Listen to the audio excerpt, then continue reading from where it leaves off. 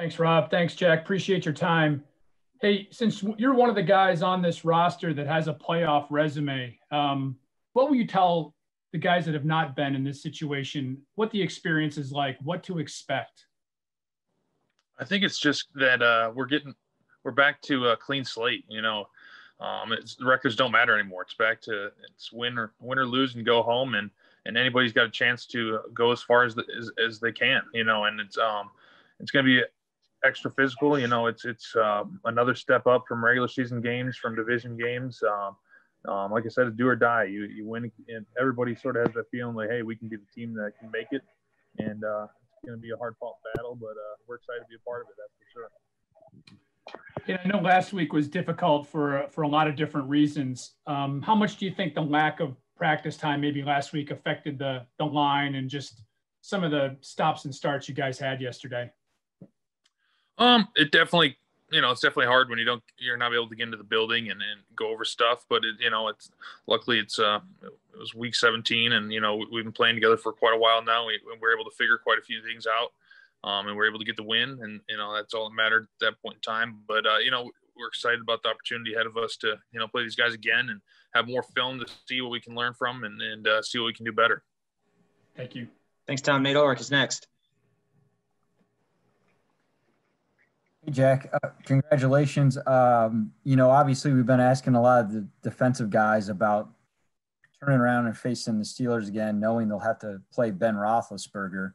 But what is it like from your perspective, knowing that T.J. Watt and Cam Hayward are going to be involved in this one, and and what those players, uh, you know, pose as a challenge to you? You know, those they're two really great guys, really good players. Um, you know, it's another challenge that they're, you know, with how how good they they are at uh, getting after the passer. Um, you know, it's going to be something that's uh, you know obviously right in front of me with TJ having to go do that and, and having Cam come in and um, you know, it's another challenge, but we're up to the task. You know, it's it's going to take a lot of studying and getting things ready uh, this week um, to prepare for it. But uh, you know, it's, it's, playoff football and anything can happen, and, and we're excited um, for the opportunity to play these guys and, and get the Steelers at full strength, showing what we can do. With your offensive line coaches out, um, what what has it been like with you guys as a group? Have, have you and the other veterans had to kind of step up and lead the charge, and and how difficult is it knowing that you know this week might be more the same with that? Um, you know, it was it was a little less weird this this week because we still can virtually talk to everybody. Um, you know, I think it'll obviously be different this week not having them at practice, but um, you know, like you said, we you know we have some other guys with Joel and JC that um, you know really have the grasp of everything and can help uh, uh, lead everybody um, and uh, help lead the offense and make us and help us understand what we have to do this week. And uh, so I, am not really, I don't think any of us are too worried about um, not having them there just because we are virtual everything now besides practice. So we're still going to get a whole lot of uh, um, their te- their uh, techniques and talking to us just about the game plan and everything. Thanks, Nate. Steve Dorsey is next. Jack, looking at uh, this being a road game and understanding that uh, you were in two tough situations last year and you went on the road, how, how difficult was that? Uh, or did you treat those games as just normal games? Or was it really a grind to get through the road games last year in the playoffs? And how different is this year with no no people in the, the stadium uh, at road games? Um, I, you know, it's definitely grind on the road. You know, last year had going into those hostile places and, and uh, um, but you know, I think I think we'll really focus on, and what every team really focuses on in this playoff football is um, is running the ball. You know, and, and last year the Titans we were able to do the first two games really was uh, run the ball and, and take leads early and uh, dictate how the game went. Um, and you know that shut down the crowd and, and, made that aspect go away. And you know it'll definitely be interesting this year. Interesting this year because you know such a smaller amount of fans. Uh, I believe Pittsburgh still has fans, so uh, as they did earlier in the year but still, you know, obviously not a full capacity. But um, I think it's just playoff football is you know it's going to be cold football. It's it's AFC uh, North football. It's it's it's pounding, it's grind. It's it's a team that can control the clock and control the way the game is going. It's a team that's going to win. Hey, Steve. Jeff Schudel is next. Hey, Jack, you just talked about running the ball, and we talked to Kevin earlier. He said, he even mentioned lightening uh, Nick Chubb's workload to keep him and, and Kareem too to keep their, them fresh. So do you get a sense that you guys are going to be running the ball here on Sunday? Um, yeah, I mean, I, that's what we've done when we've had success all year. It's been running the ball, and uh, I don't think we've changed that now.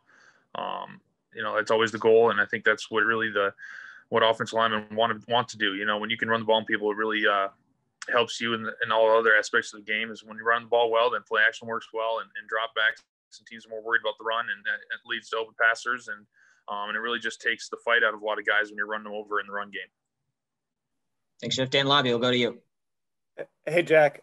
Kevin was telling us earlier that you guys on that offensive line get excited when you're watching film and you see, you know, guys like Kareem, receivers, you know, even Austin kind of get out and make blocks. Uh, are you ever surprised to, to see those guys and, and what they can do in the run game and, and when they are out front blocking?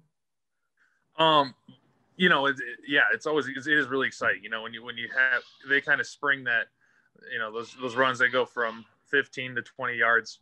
Um, those explosive runs. Sorry, my daughter's yelling in the background, but that's all right.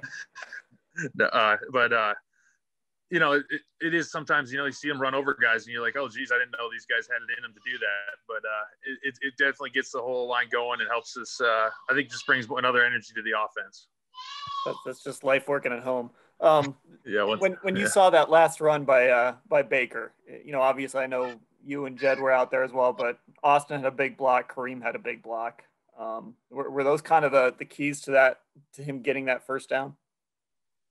Yeah, definitely. Definitely. I mean, the, the, we call the play where there's a lot of solo blocks on the edge and those are tough, those are tough blocks. And, uh, you know, those guys stepped up and when the time it mattered and, uh, it was huge. And uh, if those guys don't make those blocks, we don't get the first down. And uh, I think even on if you go back and watch Nick's long run the first quarter, you see a, uh, Donovan downfield uh, finishing off a guy just to get him in the end zone. And when you see stuff like that, it just shows um, those those are the box that are going to come down to the playoffs. Those are the ones that are going to be the ones that win games. And uh, if you can make spring those explosive runs, um, those are really the difference makers. Thank you. Thanks, Dan. Scott Petrak, you're up. Hey, Jack, I got two things for you. Um, following up on Jeff's question about the run game, does Pittsburgh's scheme make you guys do anything differently to have success running the ball? Um, and definitely, you know, it, with the, with their scheme, we have to just look at it a different, little bit different way. You know, they're a very stout group, and we got to find. I mean, I think we obviously try to find ways to uh, get them off the ball and and uh, get as many double teams and different things as we can, just to move that line of scrimmage. But uh, like you said, I mean, they're they're a good front, and uh, they create a lot of obstacles. And it, right now, you know, we're going through trying to figure out ways to attack those obstacles. Like, do they make it tougher to get outside in the wide zone than some other teams? Um, they, I mean, they can, you know, with the ends, with how they how they play up the field a lot. Um, they try to shut that down. So that's one of their goals is yeah, to, to shut that down, stop us from doing out there. But uh, uh, it's also our goal to to beat them at their own game. So uh, it's a, it's really on us to to do that. Gotcha. And then with TJ, Mike Tomlin last week said he's from another planet. Um, just what makes him so tough to block off the edge? Um, I, I, think it just really comes down to just you know his speed, and uh, he's really he does a really good job. I think you know it's impressive to see. It's I think he does a good job of um, studying the teams, really the tape. You know, he can he does a really good job of timing up the cadence and uh, getting off and getting up the field. And um, you really got to be at the top of your game, getting off the ball as well, because you know he's going to get full steam going, and and you got to beat him to that uh, that point Thank you. Thanks, Scott. We'll go to Didi Kinkawala. Uh, hi, Jack. My daughter has interrupted just about everything all year, so I appreciated that. Um, Baker Mayfield. I know it's been a very awkward year for bonding or spending time together, but can you tell me one thing that's sort of been a surprise in actually having this year with him? And from the outside looking in, it feels like he has uh, I hate to say grow up because that sounds patronizing, but that he's sort of evolved a little bit from a few years ago. What about within the season? What's one big difference right now in week 17 from, let's say, week two? Um, I think just understanding that um, you really don't you don't have to extend plays all the time. You know, making sometimes extending plays is the wrong thing to do. You know, if there isn't somebody open or um, the pocket collapses, hey, it's, it's okay. Just get throw the ball out of bounds or you know go for a run. You know, you don't always have to try to make the big play. And uh, I think he's done a really good job of that. And I think you can see, um, don't want jinx anything, but he just with his touchdown to interception ratio the last few few weeks. You know, it's it's been drastic, and uh, you know that just goes to his decision making and and um, understanding. Hey, you know, we'll live to fight another down, and sometimes that's better than trying to take a deep, trying to force something in. What about just personality wise? You know, before you got here versus who he is right now. Um, I'd say well, just sort of on the funnier side. I never expect him to uh, accept that he has uh, little man syndrome. He's accepted that, really? Oh yeah, he, he yep. You can't even make the joke to him now because he just says, "Yeah, I do. I, I have it." so when we ask him on Wednesday about this, he will concede. I think so. Uh, I mean, he conceded to me, so we'll see where his pride's at. But all right, Thanks, thank Didi. you very much. We have time for two more questions. Tony Grossi, Nate Ulrich. Tony, go ahead. Hey, Jack. It just seems from the outside watching these last two seasons that uh, what Tennessee did last year to come out of nowhere seems to be being repeated with your new team. Do you have, and, and you know how that team caught fire uh, last year around this time. Do you feel uh, flashbacks to that year? Do you talk to your teammates like, hey, this is what we did last year, so it's right there for us? Anything like that? Yeah, definitely. I mean, especially, you know, run pretty much the same offense, you know, and, and again, I think it's, it's just coming down the run the ball. You know, if you can run the ball and and uh, take control that that game, I mean, it, it, just it just changes the whole thing. When you get up on teams, run the ball, it it opens up your playbook. Um, it allows the defense to get after the, the other team's offense, um, and it's just it, it's more exciting. You know, you can just you just see the the, the, the life coming out of other teams when you just can run the ball and and just take hold of that game and, and the physicality is you're you're beating up the other teams and, and you're not really taking as much. And and I think if, if we can just we can drive that, that, that point home is just doing everything we can to you know to uh, take that fight out of every other team, and that's that's really what's going to uh, take you uh, the long way in the playoffs. All right, thanks. Thanks, Tony. Final question for Jack goes to Nate Ulrich. Jack, when you uh, talked to us shortly after you signed with the Browns, you were talking about how it was such a goal of yours to you know, help this team turn it around and make the playoffs. How gratifying is it to to come from, you know, the Titans where you had, you know, been in the AFC Championship game and, and then be a part of a, a change here in a in a playoff berth? It's been know it's been awesome. You know I think the most exciting thing is is really just for the city of Cleveland. I mean, to to have such good fans here and and to be able to come through and you know make the playoffs the first time since since 02, it's it's it's just it's extremely gratifying and um, you know, but it's not that's not where we want to stop. You know, this team is is is very goal oriented and and uh, and committed to what we want to do. And you know, we, we want to win a Super Bowl and bring bring that to Cleveland. You know, this was the first step, and uh, we have a whole lot more to do, and and we're excited for the opportunity that we've uh, put ourselves in here.